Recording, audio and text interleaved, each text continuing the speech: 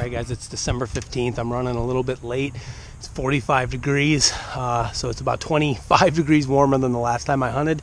This is not exactly what we want for mid-December to put these deer on their feet in the food, but you know what? It is what it is. I'm going to enjoy a sit where I don't freeze my tail off and actually probably won't have to even wear my heavy jacket tonight. So uh, I'm going to head into our oat plot in a pine tree and see what is shaking. I'm kind of thinking green tonight is why I'm going there. We got a fresh picked cornfield, so anything moving from the west towards the east may try to maybe feed through those oats, hit a little bit of green before they get to this fresh cut corn. I was just picked in the last, uh, I don't know, five days or so. So that's the plan. I'm going to check a couple trail cameras on my way in, and we'll be up in a stand shortly. And hopefully, before dark, something moves through, gives us a shot. So let's get after it.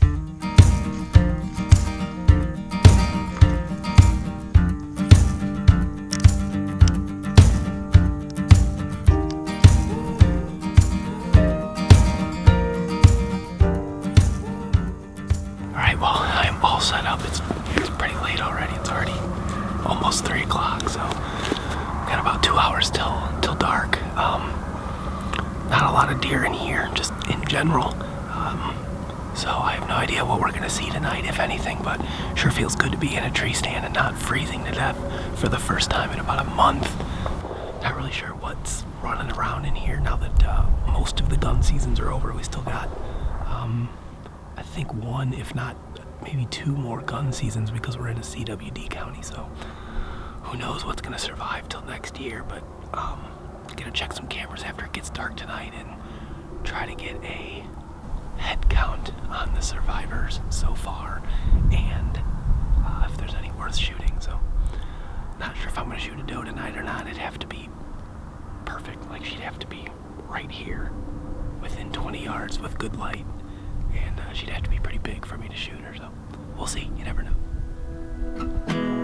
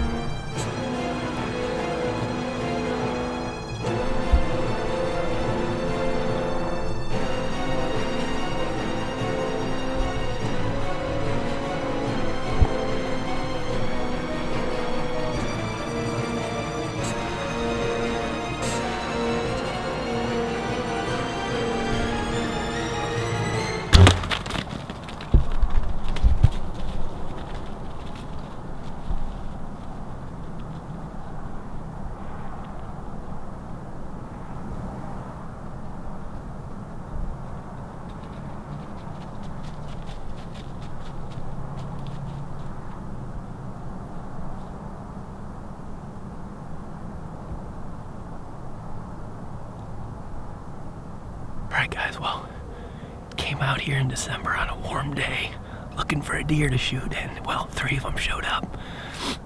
Couldn't quite pull it off on that first one. she's the one I wanted, the big double throat patch doe. She's the one I wanted, but she got a little spooky down here and kind of ran off. She was still in bow range, but I knew the other two were coming behind her, so I just set the camera up and I said, this first one that, that comes through, I'm gonna shoot. Happened to be the biggest of the three, I believe. She got a little spooky when she was right down under me. I'm only, I'm gonna guess 12 feet up in this tree, not very high. And uh, fortunately, she didn't spook too bad. She stopped right there, gave me a perfect hole at about eight or nine yards. And I'm not gonna pass that shot up. That's as chip shot, as chip shot gets. She ran out here to about 60 yards and stopped, and then kind of did a death run over here. And I saw her do a circle and go down right in these pines over here. So I'm gonna go ahead and climb down and go get her recovered, and then um, figure out how I'm gonna get her out of here.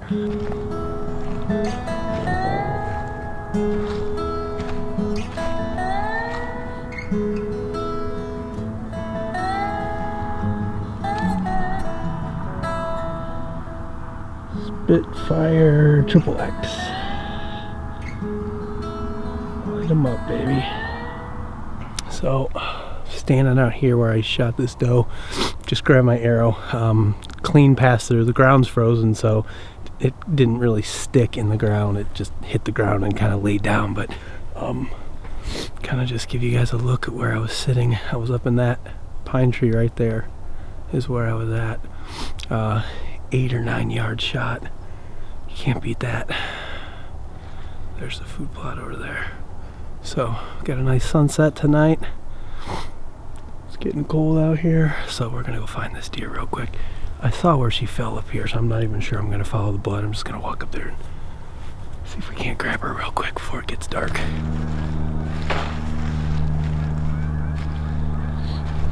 Yeah, big old doe. All right, guys, well, we are going to try to keep this short and sweet because I need to get home. This was supposed to be a quick hunt tonight. My wife's at home, not only with our kids, but my nieces and nephews as well. She's probably going crazy and wondering where I'm at. So as you guys saw, I already recovered this doe uh, tonight. this is probably going to hopefully not be, but it will probably be the last year I shoot uh, for the 2018 season. You know, we got about 30 days left here in Illinois to hunt, uh, but with uh, the holidays coming up, work, uh, ATA show, just a lot of obligations going on. Uh, I'm not sure how many more sits I'm going to be able to get out between now and the end of the year. So most likely this will be my, my last year of the year and heck of a way to end the season. First kill with the Vertix. Man, I, I love this bow. I know everybody you know hates when we talk about product, but I, I got to be honest with you, I do absolutely love this bow, uh, and I wasn't going to pass up an eight or nine yard shot on a big, big trophy doe like this. The head on this doe is enormous. I have killed bucks with smaller heads than this doe before, so this is this is a trophy and a great way to end the year uh, on a high note, a perfect shot, good footage, good hunt. Um, man, just everything went right tonight. So we, I appreciate everybody tuning in. Uh, thanks for watching along with my season. Guys, keep watching. We got another month or so left. The rest of the team is out there still hitting it hard, trying to fill some of those late season tags. So, you know, if you guys haven't filled a tag yet, uh, even if it's just with a doe, keep hunting hard, keep hunting smart. Don't cut any corners. Uh, you know, don't start getting lazy. Uh, there's still plenty of opportunities out there to fill a tag. So again, guys, thanks for watching, and uh, we'll see you next time right here. Bowhunt or Die, baby.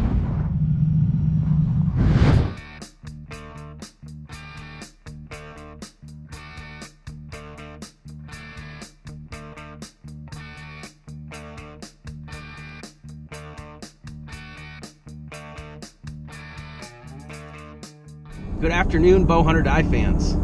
It's uh, Sunday, December 9th, and I am headed out to fight the good fight. It's Illinois' muzzleloader season, and I'm going to be trying to kill a deer with a bow today. Um, on the way to my farm, I thought I'd give you guys a quick update and a pretty serious story I wanted to share with you. So last night, I was hunting this same farm, and uh, actually ended up slipping coming out of the tree last night after dark, and feeling pretty fortunate today for our friends over at Hunter Safety Systems. I did have a lifeline in that tree and it managed to catch me so I didn't hit the ground. Um, but it didn't stop me from wrenching my shoulder pretty bad when I tried to stop the fall. And um, went in this morning to the doctor, had some x-rays done and had him take a look at it. I apparently got severe inflammation and sprain of the rotator cuff on my left-hand side. So um, I, I mentioned it in a few past episodes, guys, to wear the harnesses and the lifelines, but it all becomes very real when that happens to you you know, I've been climbing trees and hunting out of tree stands for as long as I can remember. And uh, it's funny, I'm 38 years old right now, and it finally happened. And luckily, I had the right stuff on, and it prevented me from getting hurt bad. So, anyhow, I am headed out to that primary farm that I hunt just a few miles from the house. I'm almost there right now. Uh, I'm definitely running a bit late, so we've got to rush, get into the tree, and once we get there, we'll give you guys a few more updates. Don't go anywhere.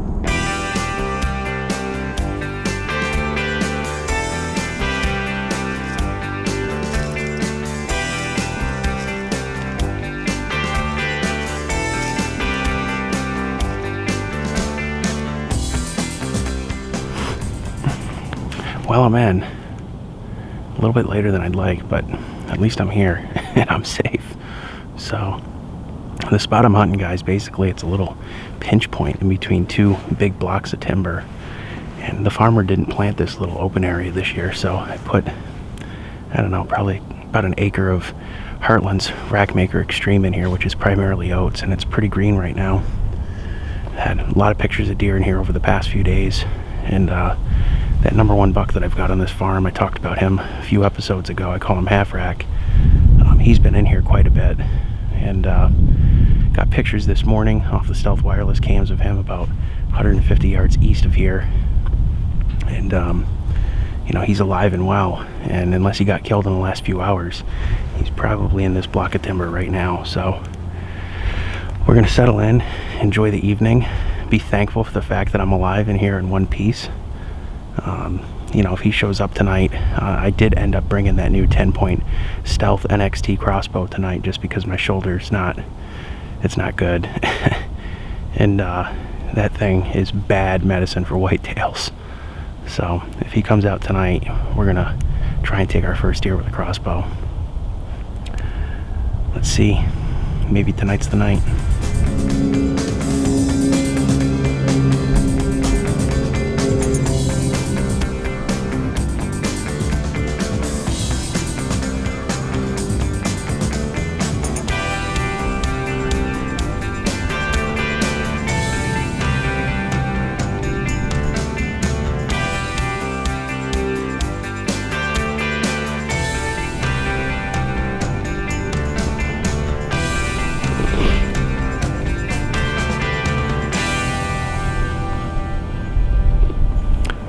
Definitely half rack. He's still out there with those does right now. He's just sniffing around them as they're picking up leftover soybeans from when the farmer came out and picked that field. But oh, boy, he's a great deer. He's not giant inches wise, but he's a big old mature deer. I'm guessing he's at least five and a half years old. And uh, it's funny to watch their behavior patterns from four and a half to five and a half and how much they smarten up. Um, that's actually the very first time that I've actually seen them during daylight. Good afternoon, Bowhunt or Die fans. It's Sunday, December 16th, and uh, the conditions are pretty much terrible out here.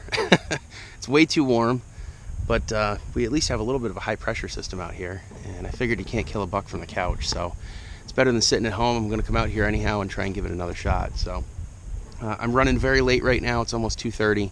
Uh, I got to get you know in this tree and get settled as quick as I can. So stick with us. Don't go anywhere uh, we'll give you a few more updates once we get in the Lone Wolf.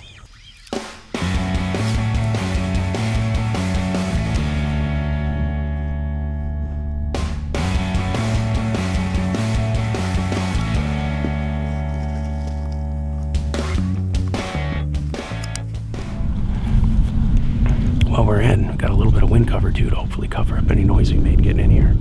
It's kind of an aggressive spot. Seems like every time we've got a straight west wind, he tends to bed on the eastern side of this timber block. It makes a lot of sense, but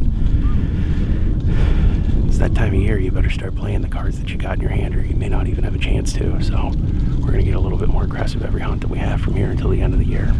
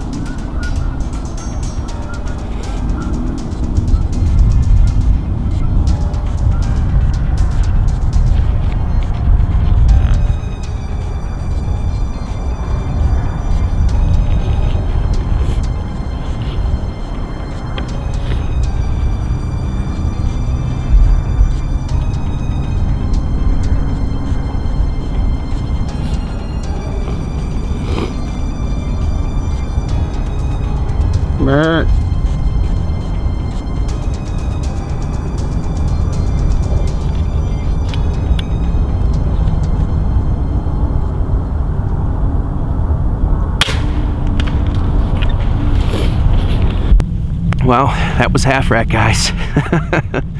I'm so, so happy right now. I've never hunted this hard in my life for a deer.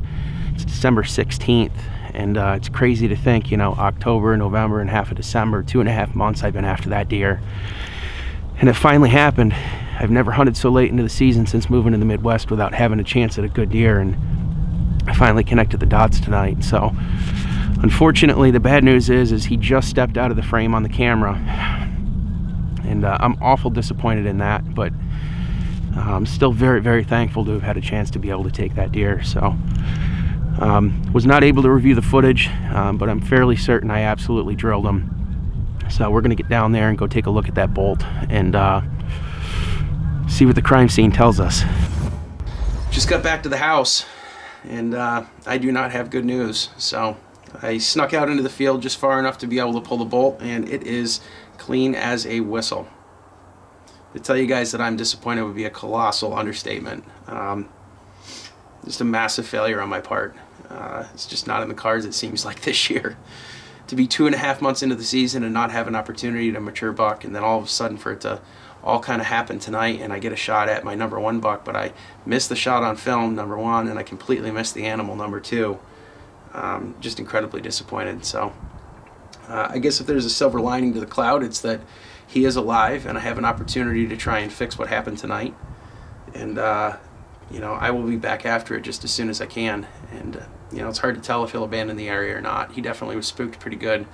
Fairly certain he knows what happened.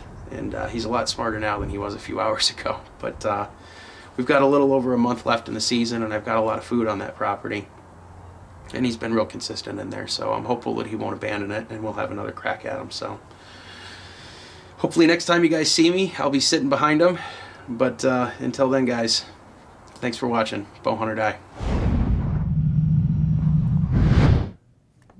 Mr. Face Paint Boy. Now, I mean, originally in the year That's he was face paint man. Okay, Boy. I'm almost 40 now. the bottom line is he was making fun of everyone for wearing face paint. I don't do that anymore. I remember him saying that to me. And now suddenly I- that's he's got the far face cry paint from out. making fun of people, Graf. You were but making fun of people. I felt like after my last few hunts that I had that were horrible, and I wasn't even seeing deer, I needed a little change of pace. It was a warm day, so I felt like I didn't want, need to wear my face mask to keep me warm because I'm kind of a sissy about that. If Justin's doing it, it's cool. But when he stops, Oh. then everyone else is not cool. That's I didn't say, well, you've never been cool. Oh, that's true. As for everybody else, I mean. I, I don't know. But hey, it brought me some good luck. Was able to put my third whitetail of the year on the ground, made a perfect shot on her, which felt great.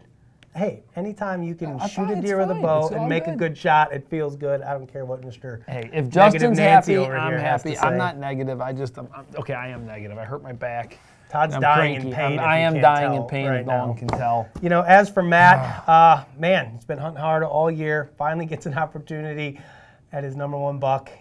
Messes up the camera work, then messes up the shot on top of that. So it was a, it was a rough night. It was a rough week for Matt, right? I mean, because on top of that, you've got the slip and fall, which, you know, Todd, I know you wanted to talk about that a little bit. Well, I mean, at some point, it's going to happen to all of us, right? It's just a matter of time. I mean, climbing trees, it's dangerous. I mean, quite frankly, I'm surprised at how much tree climbing I've done that I haven't, you know, when I was younger, had more of a serious fall. I mean, it took me almost four years ago and I had that one accident. Mm-hmm. It was the most stupidest thing where my saw cut the strap going around the tree on the actual foot that I was on, and I and I fell. It was just dumb Yeah. luck, but it can happen. I mean, you just you got to wear your gear, guys. Wear Yeah, it. definitely. So, you know, fortunate for Matt, he didn't get seriously hurt. He's still out there hunting. Got a lot of season left here in Illinois. Hopefully, he'll get another crack at one. Uh, so, guys, next up, we are going to take a look at trophy photos that were sent in for this week's episode. Avery Ball, Benner Efford, Chris DeNoon. Chris Demarest, Luke Seedorf. and Shane Weller. Hey guys, those are some great trophies. Remember, if you want to see yourself right here on Bowhunt or Die, don't forget the hashtag Bowhunt or Die. Pretty simple. Yep. Justin, winner. Winner, winner. chicken dinner. Ah, As Todd Here, says. Avery, I'm sorry to give you this information, but look, Justin even said, make sure you smile. He even drew a little smiley Yeah, face. If you don't be. smile, I guess you just can't win. So, Avery, unfortunately, you did not win. I think Justin and I both decided this week that we were giving it to Shane Weller. Yeah, congratulations Big buck, Shane. Heck good. of a buck. Good photo. So congratulations to Shane. Make sure you get your information to us. We will get you that Pine Ridge Archery gift pack sent out. What? You sounded like a robot there for a minute. It was like just rattling it off. I've said it a thousand times now, so that's the way it goes. So thanks to everybody for sending in their trophy photos for this week's episode, uh, guys. Back guess if remedies. If, if- you have any back remedies, my sciatic nerve is killing me. I'd love to hear about them. I'm dying. I'm dying. Oh, okay. Lots of drugs? Oh, I don't know. man. So yeah, if you have remedies for Todd, make sure you post them, guys. Christmas is coming up, so Merry Christmas to everybody out there. Hope you guys have a wonderful holiday season, and we will see you next week right here on Bowhunt or Die. For more exciting action, be sure to follow us on Facebook, Twitter, and Instagram and receive live updates from our team members as well as the latest happenings in the bow hunting and archery world. Be sure to share your photos, stories, and experiences as well. And don't forget to pick up your official bowhunting.com and bowhunt or die gear by visiting bowhunting.com forward slash gear. We have a full selection of hats, shirts, decals, wristbands, and much more. Avery Ball, Chris Denoon, Denoon, Denoon, and Luke Seedorf. Yep. Efford. How, would- how would you say this one? Let me help me. Let me help you. Which one? Number four. Well, Demo rest. number four, Demarest? Democrat. Chris Democrat. Chris Demarest. No, I want to say Demarest. Demarest. Denoon. this How do you guy's name is Benner? Denoon. Denoon. Denoon. Danoon. Okay.